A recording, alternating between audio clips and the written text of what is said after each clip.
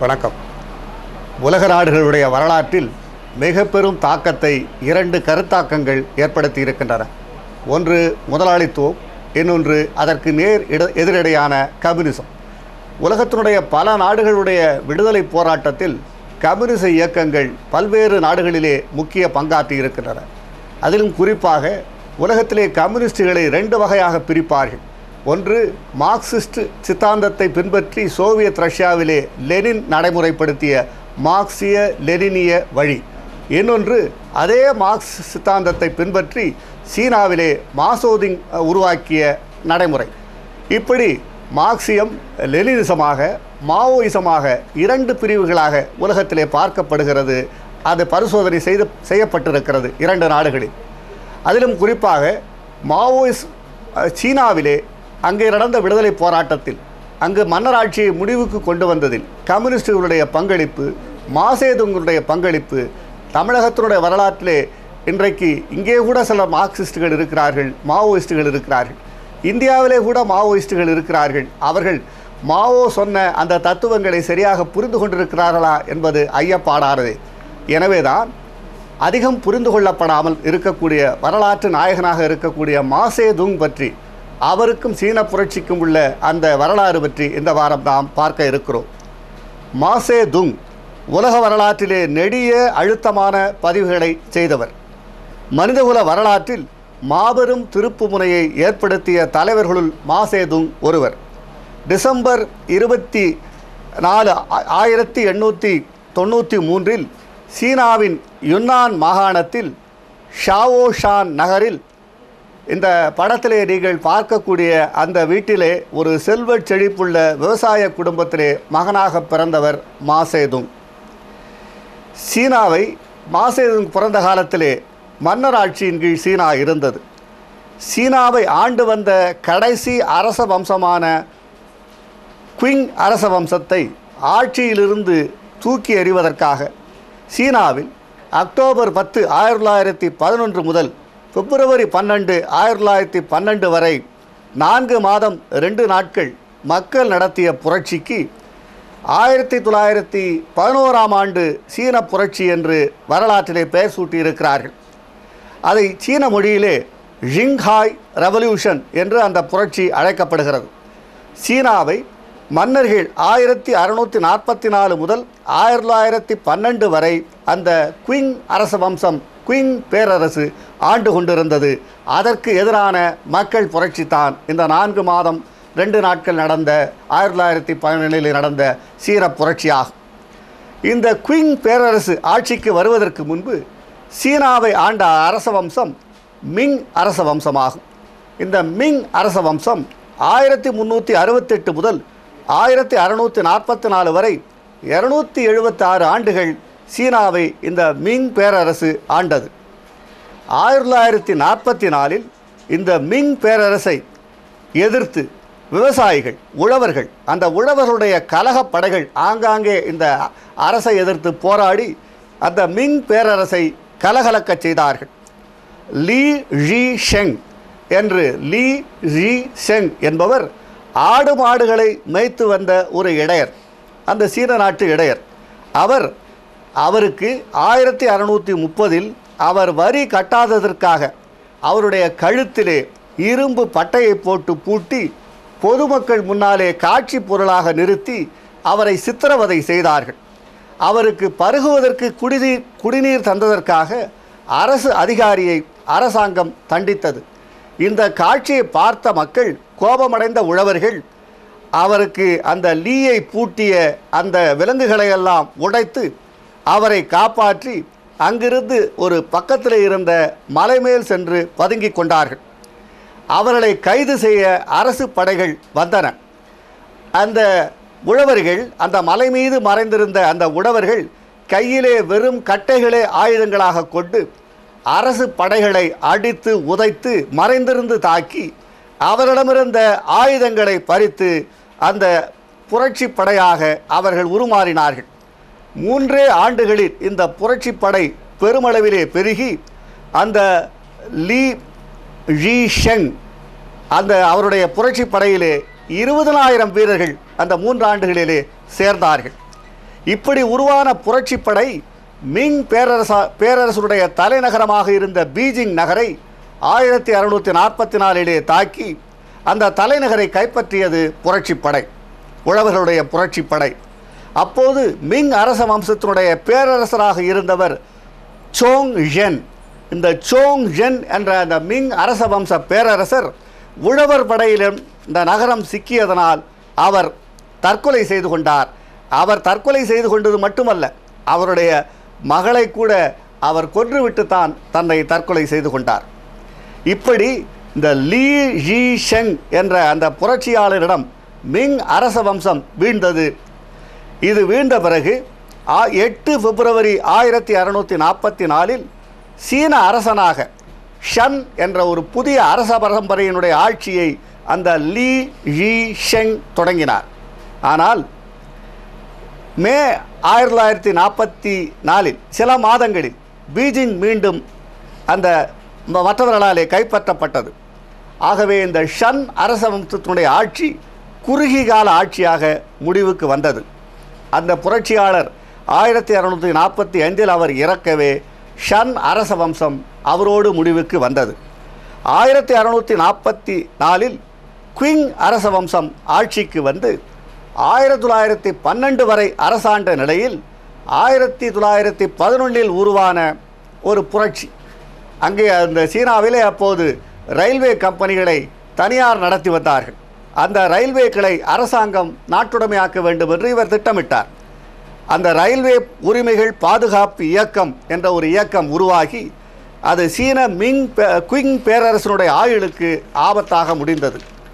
அவர் நாட்டில் உள்ள அந்த குயிங் பேரரசர் சீனாவில் உள்ள ரயில்வே திட்டங்களை எல்லாம் நாட்டுடைமையாக்கி அதை அயல்நாட்டு வங்கிகளினுடைய கட்டுப்பாட்டிலே கொண்டு வர குயிங் பேரரசு முடிவெடுத்தது. இதற்கு எதிராக மக்கள் போராட்டம் அன்றைக்கு உருவெடுத்தது. அது மிக பெரும் புரட்சியாக மாறியது. இப்படிப்பட்ட இந்த புரட்சியிலே தான் அந்த குயிங் அரச வம்சம் வீழ்ச்சி அடைகிறது. இப்படி ஒரு மிங் அரச வம்சத்திடமிருந்து குயிங் அரச வம்சமும் இடையிலே ஷன் என்ற அரச வம்சமும் அந்த மூன்று அந்த ஷன் என்பது ஒரு குறுகிய கால ஆட்சி.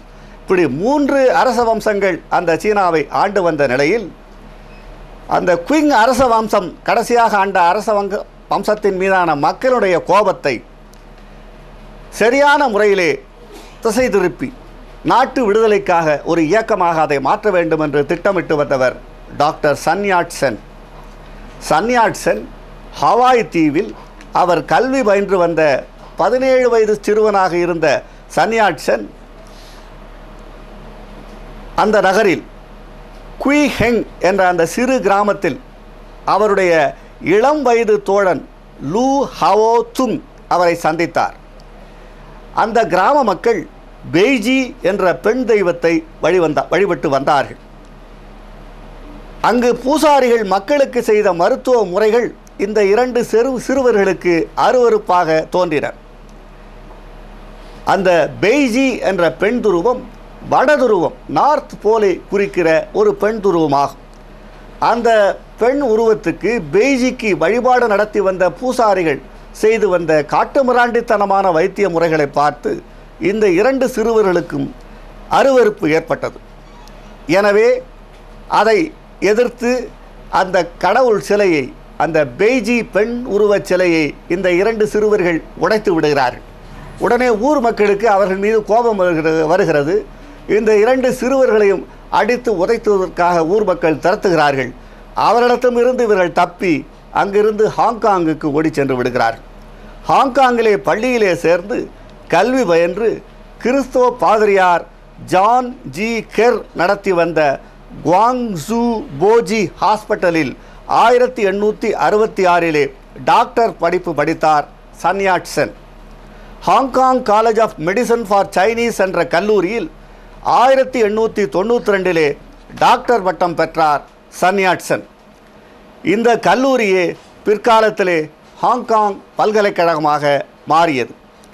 கிறித்துவ மதத்தை தழுவினார் டாக்டர் சன்யாட்சன் ஆயிரத்தி எண்ணூற்றி தொண்ணூற்றி ஒன்றில் குயிங் பேரரசை தூக்கி எறிய வேண்டும் என்று போராடிய அப்போது ஒரு இலக்கியவாதிகளெல்லாம் அந்த குயிங் அரச வம்சத்தை தூக்கி எறிய வேண்டும் என்று போராடினார்கள். அதிலும் குறிப்பாக ஃபியூரன் இலக்கிய சங்கம் அதை நிறுவிய யுவங் குய் வான். இவர் இவரை சந்திக்கிறார் சன்யாட்சன். சீன அரசின் வைஸ்ராய்க்கு சீனாவை எப்படி நவீனமயமாக்கலாம் என்று எண்ணோ எட்டாயிரம் சொற்கள் சீன எழுத்துக்களிலே ஒரு மனுவை தயாரித்து அனுப்புகிறார் சன்யாட்சன். அந்த மனுவை கொடுக்க செல்கிறார். ஆனால் அதை வாங்க மறுக்கிறார்கள். அவருக்கு ஏமாற்றம் ஏற்படுகிறது. மீண்டும் ஹாங்காங் வந்து அந்த ஹாங்காங்கிலிருந்து சீனா திரும்பிய சன்யாட்சன் சீன மறுமலர்ச்சி இயக்கத்தை தொடங்கினார். சீனாவில் அகதிகளாக இருந்தவர்கள் சீனாவினுடைய ஒடுக்கப்பட்ட மக்கள் இதனுடைய உறுப்பினர்கள் ஆனார்கள். இந்த ஃபியூரன் இலக்கிய சங்கமும் இந்த புரட்சியாளர்களோடு இணைந்து கொண்டது. இந்த சூழ்நிலையில் சீனாவை ஆண்ட அந்த குயிங் பேரரசு ஜப்பான் நாட்டோடு போரிலே குதித்தது. முதல் சீன ஜப்பானிய போர் ஒன்று ஆகஸ்ட் ஆயிரத்தி எண்ணூற்றி தொண்ணூற்றி நாலு முதல் பதினேழு ஏப்ரல் ஆயிரத்தி எண்ணூற்றி தொண்ணூற்றி ஐந்து வரை நடந்தது. முதல் சீன சப்பானிய போர் ஆயிரத்தி எண்ணூற்றி தொண்ணூற்றி நாலும் ஆயிரத்தி எண்ணூற்றி தொண்ணூத்தஞ்சுக்கும் இடையே கொரியாவை யாருடைய கட்டுப்பாட்டில் வைத்திருப்பது என்ற போட்டியாலே நடந்த போராகும். ஆயிரத்தி எண்ணூற்றி தொண்ணூற்றி நாலில் கொரியாவில் உள்நாட்டு புரட்சி ஏற்பட்ட போது அந்த கொரியாவோடு தனித்தனியாக ஏற்கனவே ஒப்பந்தங்களை செய்து கொண்டிருந்த சீனாவும் ஜப்பானும் கொரிய நாட்டிலே உள்நாட்டு கலகம் ஏற்பட்ட போது அதை அடக்குவதற்காக தங்கள் நாட்டு படைகளை அனுப்பி வைத்தன. அந்த புரட்சி நசுக்கப்பட்டது. ஆனால் புரட்சி நசுக்கப்பட்டாலும் கூட ஜப்பான் கொரியாவிலிருந்து தன்னுடைய நாட்டு படைகளை விலக்கி கொள்ள மறுத்தது. கொரியா அரசை வற்புறுத்தி ஜப்பான் அரசு சீனாவோடு கொரியா போட்டிருந்த ஒப்பந்தத்தை ரத்து செய்ய வைத்தது. இதனால் சீன ஜப்பான் போர் மூண்டது. நவீனமான ஆயுதங்களை வைத்துக்கொண்டிருந்த ஜப்பானிய படைகள் முன்பு சீன படைகளால் எதிர்கொள்ள முடியவில்லை. சீன படைகள் போரிலே தோற்று ஓடின. அந்த போரின் முடிவில் இந்த இரண்டு நாடுகளுக்கும் இடையில் சீனாவுக்கும் ஜப்பானுக்கும் இடையில் ஷிமோன் செக்கி நகரில் உடன்பாடு ஆயிரத்தி எண்ணூற்றி தொண்ணூத்தைந்திலே ஏற்பட்டது. அதிலே அந்த கொரியா நாடும் கையெழுத்திட்டது. இந்த மூன்று நாடுகளுக்கு இடையான இந்த ஒப்பந்தத்தில் ஒப்பந்தத்தின்படி தாய்வானும் பெஸ்கெடரோஸ் பகுதியும் லியாண்டாங் தீபகற்பமும் சீனாவுக்கு ஜப் சீனா ஜப்பானுக்கு தாராய் வார்த்து தர வேண்டும் என்று நிலைமை ஏற்பட்டது. ஏராளமான இழப்பீட்டுத் தொகையையும் சீனா ஜப்பானுக்கு வரவே தர வேண்டிய ஒரு கட் ஒரு நிலைமை இந்த ஒப்பந்தத்தால் ஏற்பட்டது. இந்த உடன்பாடு கையெழுத்திட்டு ஒரு வார காலத்துக்குள்ளாக ரஷ்யாவும் பிரான்சும் ஜெர்மனியும் இதை தலையிட்டு வாடாங் தீபகற்பத்தை ஜப்பான் திரும்பவும் சீனாவிடம் ஒப்படைக்குமாறு செய்தன. ஆயிரத்தி எண்ணூற்றி தொண்ணூற்றி ஆறில் சீனா ஜப்பான் இதற்கு பிறகு இரண்டு புதிய வணிக ஒப்பந்தங்கள் செய்து கொண்டன. இந்த வணிக ஒப்பந்தங்களின்படி ஜப்பானியர்கள் சீன துறைமுக நகரங்களிலே தொழிற்சாலைகள் அமைக்கவும் தொழில் தொடங்கவும் சீனா இசைவு அளித்தது. இந்த உரிமை படிப்படியாக மேற்கத்திய வல்லரசு நாடுகளுக்கு விரிவாக்கம் செய்யப்பட்டது. அந்த நாடுகளும் ஜப்பான் பெற்றிருந்த அந்த உரிமைகளை இந்த துறைமுக நகரங்களிலே பெற்றார்கள்.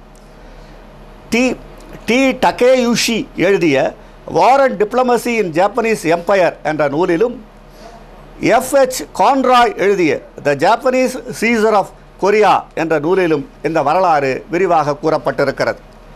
இந்த போரினுடைய பின்விளைவாக சீனாவிலே இரண்டு விதமான சிந்தனை போக்குகள் எழுந்தன. நவீனமயமான இராணுவத்தை வலுப்படு வலுப்படுத்திவிட்டால் குயிங் பேரரசால் வலுவான சீன ஆட்சியை வழங்க முடியும் என்று அறிஞர்கள் சிலர் நினைத்தார்கள். குயிங் அரச வம்ச இளவரசர் இதற்காக நூற்றி நா நூறு நாள் சீர்திருத்த இயக்கம் என்று ஒரு இயக்கத்தை தொடங்கினார். இந்த நூறு நாள் சீர்திருத்த இயக்கம் நூற்றி நாலு நாட்கள் நீடித்தது.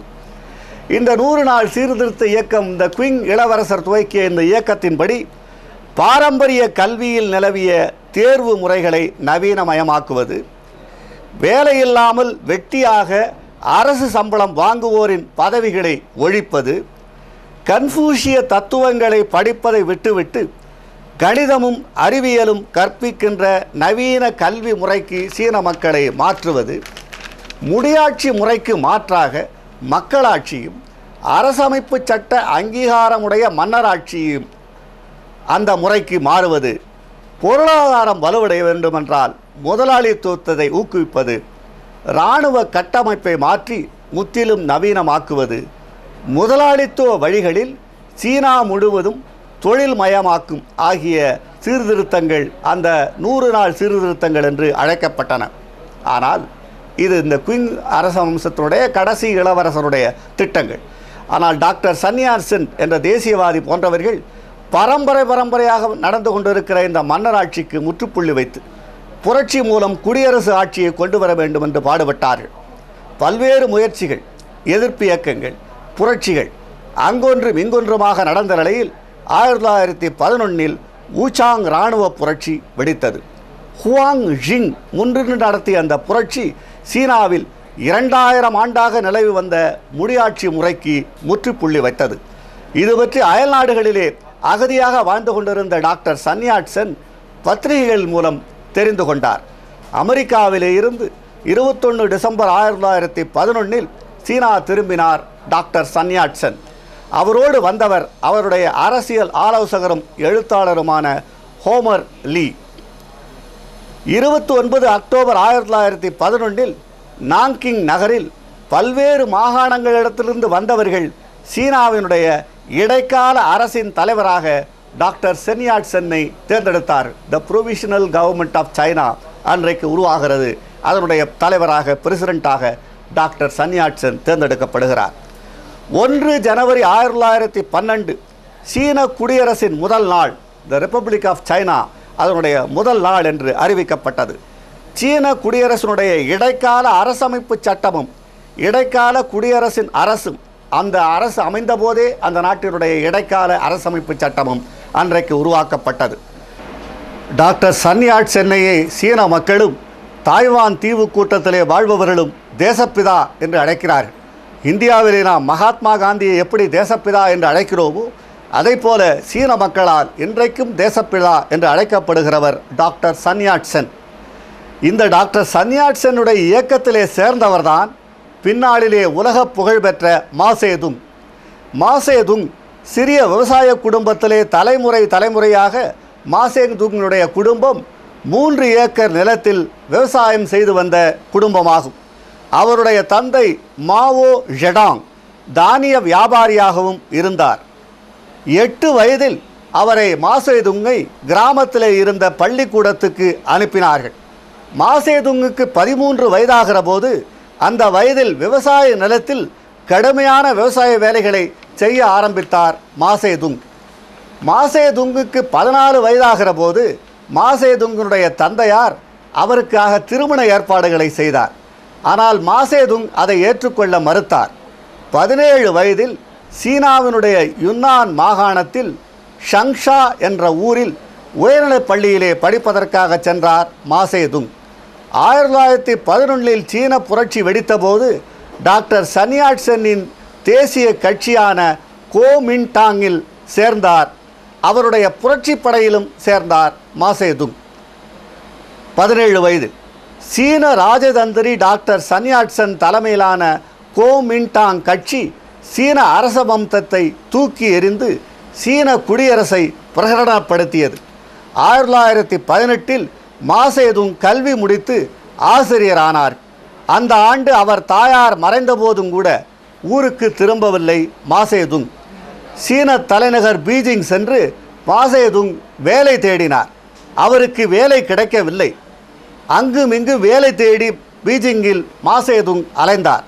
கடைசியில் அந்த மாசேதுங் பீஜிங் பல்கலைக்கழகத்தினுடைய நூலகத்தில் உதவியாளர் பணி கிடைத்தது. அந்த பணியிலே சேர்ந்தார் மாசேதுங்.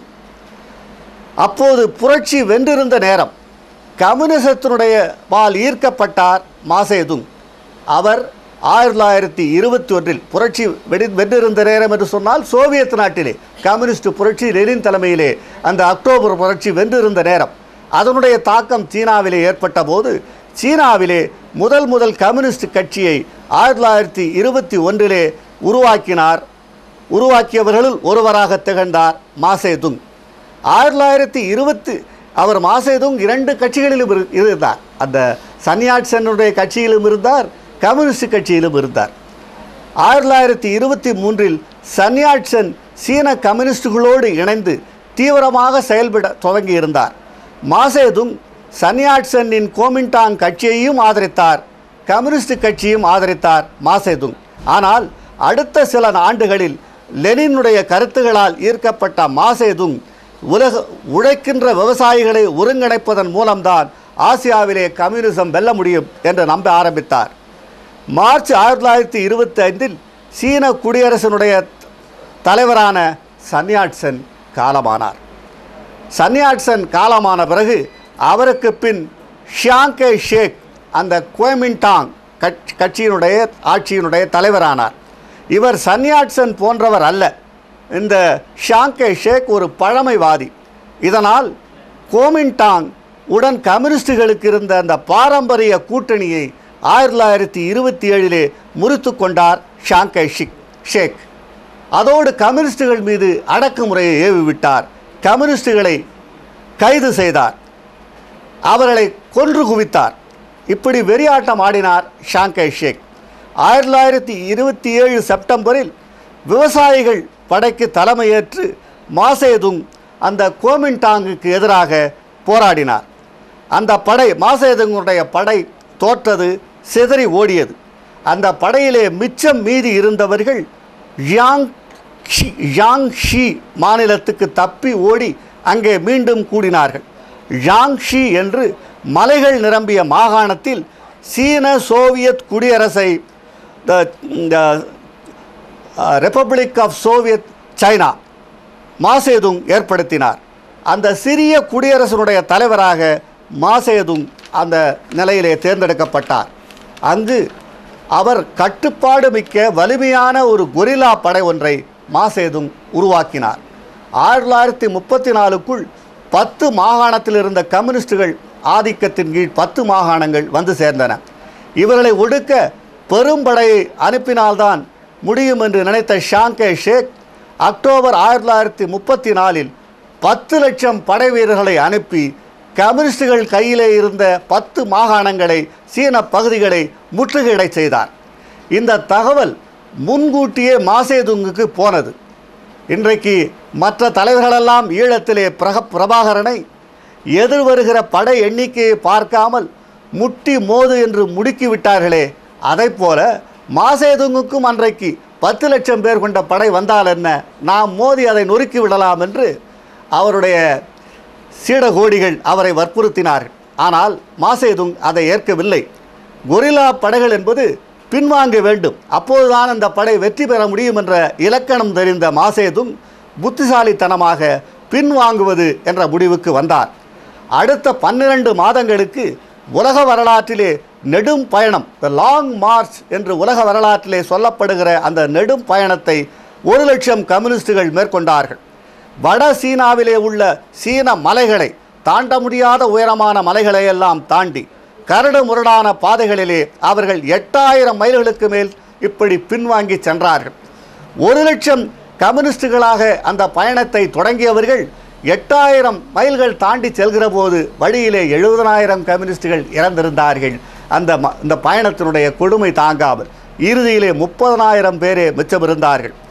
கோவிண்டாங் அரச படையிடமிருந்து இவர்கள் தப்பித்து விட்டார்கள். கம்யூனிஸ்டுகள் என்ற செய்தி காட்டுத்தீவாக பரவியதும் ஏராளமான இளைஞர்கள் மாசேதுங் தலைமையிலே இணைந்தார்கள். அவருடைய பேச்சாற்றல் மாசேதுங்கனுடைய பேச்சாற்றல் அதை கேட்டு மயங்கிய இளைஞர்கள் பெரும்படையாக அவர் பின்னாலே திரண்டார்கள். ஆயிரத்தி தொள்ளாயிரத்தி முப்பத்தி ஏழில் ஜப்பானிய பேரரசனுடைய படைகள் சீனா மீது படையெடுத்தன. நான்கிங் இருந்த நான்கிங் என்பது தலைநகராக இருந்தது குயிங் அரசர்களுக்கு. அந்த தலைநகரத்தை விட்டு தப்பி ஓடினார் ஷியாங்கே ஷேக் அந்த குயிங் அரச வம்சம் போன பிறகு ஆட்சியை கைப்பற்றிய சன்னியாட்சனுக்கு பிறகு அங்கே ஆட்சியில் இருந்த சியாங்கே ஷேக் அதே தலைநகரில் இருந்தார். அங்கிருந்து அவர் தப்பி ஓடினார். கடலோர பகுதிகள் முழுவதையும் பல துறைமுகங்களையும் ஜப்பானிய படைகள் கைப்பற்றிவிட்டன. இரண்டு தரப்பிலும் சண்டையிட முடியாத ஷியாங்கே ஷேக் ஜப்பானியரிடம் போரிட்டாக வேண்டும் மாசேதுங்கிடம் போரிட்டாக வேண்டும். இரண்டு த தரப்பிலும் போரிட முடியாத அந்த ஷாங்கே ஷேக் கம்யூனிஸ்டுகளிடம் சமாதான தூது விட்டார். அந்த கட்டத்திலே ஒரு இராணுவ தலைவராக வலுப்பெற்றிருந்த மாசேதுங் நேச நாடுகளோடு ஆதரவோடு ஆயிரத்தி தொள்ளாயிரத்தி நாற்பத்தி ஐந்திலே ஜப்பானியரை தோற்கடித்து விரட்டி அடித்தார். ஒட்டுமொத்த சீனாவையும் அதன் ஆட்சியின் கீழ் கொண்டு வர தன்னுடைய ஆட்சியின் கீழ் கொண்டு வர வியூகம் வகுத்தார் திட்டமிட்டார் தீவிரமாக செயல்பட்டார் மாசேதுங் அமெரிக்காவோ மாசேதுங்கையும் ஷாங்கே ஷேக்கையும் ஒரே கூட்டணியிலே கொண்டு வரச் செய்து சதிகள் பல செய்தது வியூகங்கள் வகுத்தது. ஆனால் உள்நாட்டுப் போர் மூண்டது. அக்டோபர் ஒன்று ஆயிரத்தி தொள்ளாயிரத்தி நாற்பத்தி ஒன்பதில் பீஜிங்கில் உள்ள தினாமன் சதுக்கத்தில் சீன மக்கள் குடியரசு பீப்புள்ஸ் ரிப்பப்ளிக் ஆஃப் சைனா உதயமாகிறது என்று மாசேதுங் அறிவித்தார். ஷாங்கே ஷேக்கும் அவருடைய ஆதரவாளர்களும் தப்பி ஓடி தாய்வானில் சீன குடியரசு அங்கே அவர்கள் ரிப்பப்ளிக் ஆஃப் சைனா என்று தாய்வானிலே ஒரு அரசை அமைத்தார் அடுத்த சில ஆண்டுகளில் பேச்சுவார்த்தை மூலமாகவும் வலுக்கட்டாயமாகவும் மிரட்டல் அதற்கும் மசியவில்லை என்றால் வன்முறை மூலமாகவும் ஆங்காங்கே சிறிய படைத்தலைவரிடத்திலே சிக்கியிருந்த நிலங்களையெல்லாம் சீனாவில் நிலங்களெல்லாம் விவசாயிகளிடத்திலே இல்லை. ஆங்காங்கு ஒரு ஒரு ஒரு ரவுடி தலைவர்களைப் போல ஒரு படைத்தலைவர்களைப் போல அந்த காலத்தில் இருந்தார்கள் அவர்கள் வசம் அந்த நிலங்கள் இருந்தது. இந்த நிலங்களையெல்லாம் மீட்டார் மாசேதும். மீட்டு மக்கள் கொம்யூன்கள் என்று சொல்லப்படுகிற ஒரு மக்கள் சபையிடத்திலே அதை பொது சொத்தாக ஒப்படைத்தார்கள். பெண்களுடைய நிலையை மேம்படுத்தினார் மாசேதுங் கல்வி கற்போருடைய எண்ணிக்கையை இரட்டா இரட்டிப்பாக்கினார் மாசேதுங் சுகாதாரத்துறையிலே மேம்பாடு செய்தார் மாசேதுங் மாசேதுங்கனுடைய சீர்திருத்தங்கள் கிராமப்புற ஏழை எளிய விவசாயிகளிடத்திலே பெரும் வரவேற்பை பெற்றன. ஆனால் நகர்ப்புறத்திலே இருந்த அறிவாளிகள் அவரது சீர்திருத்தங்களை எதிர்த்தார்கள். இதை உணர்ந்து கொண்ட மாசேதுங் மக்களாட்சியில் நிலவுகிற கருத்து சுதந்திரத்தை அனுமதித்தால் நாட்டை முன்னேற்ற முன்னேற்ற பயனுள்ள யோசனைகள் சொல்வார்கள் அறிவாளிகள் என்று நினைத்தார். ஆனால் அவர் அந்த கருத்து சுதந்திரத்தை அனுமதித்தவுடன் கட்டுக்கடங்காமல் அவர் மீது கடும் விமர்சனங்கள் பாய்ந்தன. இதனால் ஆயிரக்கணக்கான நகரம் சார்ந்த அறிவாளிகள் அறிவாளிகளை வலதுசாரிகள் என்று முத்திரை குத்தி அவர்களை சிறையிலே தள்ளினார் மாசேதுங். ஆயிரத்தி தொள்ளாயிரத்தி ஐம்பத்தெட்டு ஜனவரியில் கிரேட் லீப் ஃபார்வர்ட் முன்னேற்ற பாதையில் பல அடிகள் முன்னெடுத்துச் செல்லல் என்று தொழில்துறை வேளாண் துறைகளிலே உற்பத்தியை பன்மடங்காக பெருக்குதல் என்ற திட்டத்தை அறிவித்தார் மாசேதுங் பெரிய பெரிய விவசாய கொம்யூன்கள் ஏற்படுத்தினார். எழுபத்தையாயிரம் பேருக்கு உள்ள விவசாயிகள் உள்ளது ஒரு கொம்யூன் என்ற அளவுக்கு. இப்படி பல பெரிய கொம்யூன்களை அந்த நிலங்களெல்லாம் அந்த எழுபத்தையாயிரம் பேருக்கு சொந்தம். அப்படி கூட்டு பண்ணை விவசாயம். ஒவ்வொரு குடும்பத்துக்கும் மொத்த லாபத்திலே பங்கு. அவர்களுக்கென்று சிறிய அளவு நிலமும் ஒதுக்கப்பட்டது.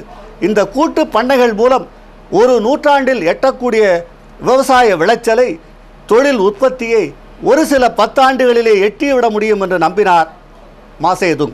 முதலில் உற்சாகமூட்டும் செய்திகள் வந்தன. எல்லா துறைகளும் முன்னேற்றம் கண்டன. ஆனால் மூன்று ஆண்டுகள் தொடர்ந்து ஏற்பட்ட வெள்ளப்பெருக்கும் மோசமான விளைச்சலும் நிலைமையை மோசமாக்கின. ஒரே ஆண்டில் கடும் பஞ்சம் ஏற்பட்டு மக்கள் கிராமம் கிராமமாக செத்து மடிந்தார்கள். மனித உல வரலாற்றில் முன் எப்போதும் கண்டிராத பஞ்சமும் பேரழிவும் ஆயிரத்தி தொள்ளாயிரத்தி ஐம்பத்தொம்போது முதல் ஆயிரத்தி தொள்ளாயிரத்தி அறுபத்தொன்று வரை சீனாவை தாக்கி நாலு கோடி பேர் உயிரிழந்தார்கள். ஒரு நாட்டு ஆட்சியை நடத்த தெரியாது என்று மக்கள் அவரை பேச அழைத்தார்கள்.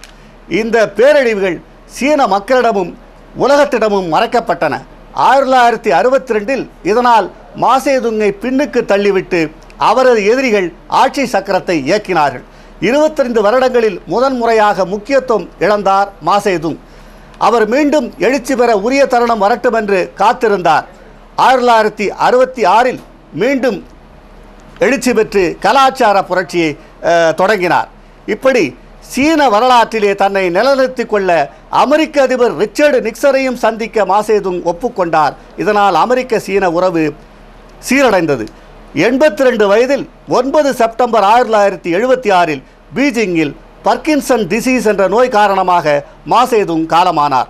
Mao Tse tung an anthology of his writings என்ற முன்னூற்றி பத்தொன்பது பக்க நூலும் ஆயிரத்தி தொள்ளாயிரத்தி எழுபத்தி ஒன்றில் அன்னே ஃப்ரீமாண்டல் அவர்களாலே தொகுத்து வெளியிடப்பட்டது. மாசேதுங் கவிதைகள் W W W Marxist org என்ற இணையதளத்திலே பதிவாகி இருக்கின்றன. ஆயிரத்தி தொள்ளாயிரத்தி இருபத்தஞ்சில் எழுதிய ஷங்ஷா என்ற கவிதை தொடங்கி ஆயிரத்தி தொள்ளாயிரத்தி அறுபத்தஞ்சிலே வெளியான டூ பேர்ட்ஸ் எ டயலாக் என்ற நூல் வரை நாம் அனைவருமே டவுன்லோட் செய்யக்கூடிய விதத்திலே அந்த இணையதளத்திலே இருக்கிறது. The political thought of Mao Tse tung நானூற்றி எழுபத்தொன்பது பக்கத்தில் ஆயிரத்தி தொள்ளாயிரத்தி அறுபத்தி ஒன்பதிலே வெளியாக இருக்கிறது. தமிழர்களாகிய நாம் மாவோசியம் என்ற சொல்லை அறிவோமா? மா மாவோயிஸ்டுகள் பற்றி அறிவோம். மாசேதுங் எழுத்துக்களை படித்தது உண்டா? நம் திருக்குறளை சீனர்கள் படிக்கிற போது சீன தத்துவ ஞானி கன்ஃபியூசியஸ் எழுத்துக்களை நாம் படிக்க வேண்டாமா? சீனாவுக்கும் தமிழர்களுக்கும் என்ன சம்பந்தம்? ஏன் சீனா பற்றி தமிழர்களாகி நாம் தெரிந்து கொள்ள வேண்டும் என்று நினைப்பவர்கள் திருக்குறள் மீது சீனர்களுக்குள்ள ஈடுபாட்டை அறிந்து கொள்ள வேண்டும். இந்த நூற்றாண்டில் தஞ்சை தமிழ் பல்கலைக்கழகத்தில் முயற்சியில் மீண்டும் திருக்குறள் சீன மொழியிலே மொழிபெயர்க்கப்பட்டிருக்கிறது. யூ ஹஷி என்ற சீன கவிஞர் இந்த நூலை இந்த முறை சீன மொழியிலே திருக்குறளை மொழிபெயர்த்திருக்கிறார்.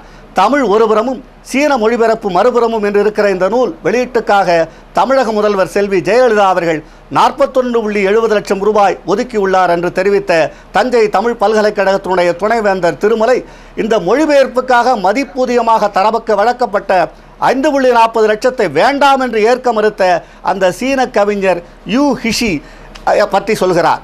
திருக்குறள் இது அதற்கு பதில் தனக்கு கிடைத்த மதிப்பூதியத்தை கொண்டு திருக்குறள் அறக்கட்டளை ஒன்றை தஞ்சை தமிழ் பல்கலைக்கழகம் உருவாக்கி உலக அமைதிக்கு பாடுபட வேண்டும் என்று அந்த நிதியை அளித்தார் என்று அந்த சீன கவிஞர் பற்றி இருபத்தெட்டு பிப்ரவரி ரெண்டாயிரத்தி பதிமூன்றிலே தி ஹிந்து நாளேடு செய்தி வெளியிட்டிருக்கிறது. ஆனால் இந்திய குடியரசுத் தலைவராக இருந்த அப்துல் கலாம் தாய்பே நகரில் டிசம்பர் ரெண்டு ரெண்டாயிரத்தி பத்திலே திருக்குறள் சீன பதிப்பை வெளியிட்டிருக்கிறார். இதே டாக்டர் ஹியூ ஹிஷி அதனை மொழியாக்கம் செய்துள்ளதை அப்துல் கலாம் பாராட்டியிருக்கிறார். ரெண்டாயிரத்தி பத்திலே தாய்வானில் அப்துல் கலாம் வெளியிட்டதும் அதே டாக்டர் ஹியூ ஹிஷியினுடைய நூல். ரெண்டாயிரத்தி பதிமூன்றிலே தஞ்சை பல்கலைக்கழகம் வெளியிடப் போவதாக சொல்கிற திருக்குறளும் அதே டாக்டர் ஹியூ ஹிஷி என்ற தாய்வானி அறிஞர் வெளியிட்ட நூல். ஒருவேளை தாய்வானில் பத்தாம் ஆண்டு வெளியிட்ட நூல் தமிழர்களுக்கு தெரியாது என்று ரெண்டாயிரத்தி பதிமூன்றிலே மீண்டும் அதை வெளியிடுகிறார்களோ என்னவோ எப்படியோ சீனர்கள் தமிழை தமிழினுடைய திருக்குறளை அறிந்திருக்கிற போது நாம் மாசேதுங்கை சீன வரலாற்றை சீன கவிஞர்களை சீன இலக்கியத்தை தெரிந்து கொள்ள வேண்டாமா?